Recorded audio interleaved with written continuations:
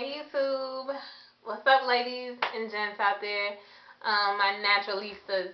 Um, I'm coming to make a video. If you guys notice, my hair is very different today. Um, it's actually a lot curlier. You can actually make out my hair pattern, which is good, so you guys can help me out with that.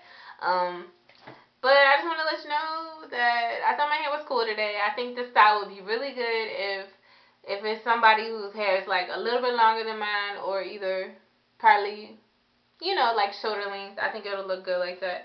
But it's pretty much really curly. It's so soft. I wish you guys could feel it. Um, I don't know if it looks hard, but it's really, really soft. And I want to show you guys um, the products that I use to achieve this curly thing, which isn't that impressive, but I just thought it was cool. So I'm about to show you. So today in my shower, I co-washed with the lovely Hello Hydration left it in my hair for 10 minutes. Then and brushed it through section by section and Y2 combed and then I rinsed it out as usual. That's how I do. I don't know how you do. Um, and then after that, I got out the shower. and My hair was still drenching wet and I used my whipped shea butter. This shea butter has so much stuff in it. Like, oh my god, whipped shea butter is like the best thing since sliced bread. Um, I have jojoba oil, coconut oil, peppermint oil, uh, ve vegetable glycerin oil, uh, I don't know, so much other stuff, y'all. I just, so much stuff in here. And it's just all packed in here. The organic honey just made it smell sweeter, I guess. Honey smells weird by itself, but when I put it in there, it smells better. And then the peppermint oil probably helped too. Um, after that, this is a gel that I showed you guys in my big chop video. I've literally had it since then. Um, since my hair's gotten longer, I didn't find or feel I had the need to actually use any type of gel other than the Eco Styler gel around my edges. Just due to the fact that it's getting longer and the curl pattern's coming out and pretty much all I have to do is put water on it. And sometimes I put um, the grease on it, not really, but I usually use olive oil and put it on there and it just curls up. So gel's not really a necessity or something that I need anymore, but I just decided to try it out today. So I tried it out. It's protein enriched, um, African essence.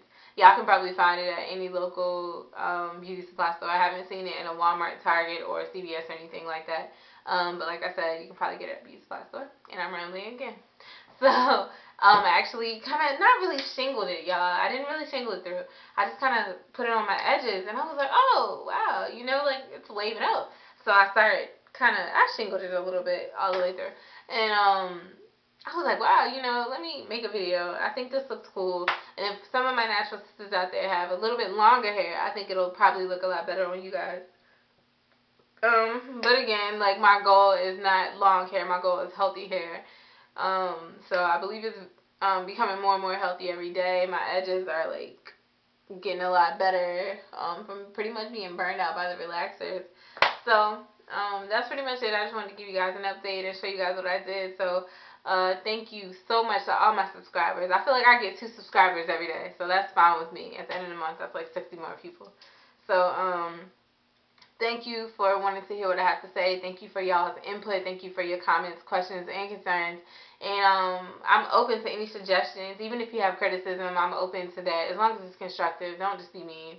It's unnecessary. Um, I got like one mean comment after the whole year I've been on YouTube, so that's fine. Um, some people are just ignorant. If you don't like natural hair, don't watch any of our channels, and that's just how I feel about it. I'm not trying to be rude, but I'm just being real, which it just irritates me when people have negative stuff to say and they obviously haven't done their research and they obviously don't know what we're talking about. Um, if you want to know, ask us. A lot of people on YouTube I'm mad, I'm sorry. A lot of people on YouTube will answer your questions. They will let you know. And if you do want to educate yourself, go to the library, get online, Google it, find out what you need to know. Don't be ignorant. Don't make stupid or, I'm just going to say ignorant responses. It's unnecessary and it's not nice. Um, people have feelings and that's all I'm going to say about it. So, I'm not trying to be rude or mean, but just keep the negative stuff to yourself. If it's not constructive, nobody wants to hear it. If you cannot improve upon the silence, keep your mouth shut. So that's just how I feel. Um, but yeah, so the products that I used were the Hello Hydration, the Whipped Shea Butter, and the African Essence. So I love all my subscribers. If you're not subscribed, um, that's fine. Just let me know how y'all feel about it. So thank you for watching. I'll talk to you guys later. Bye.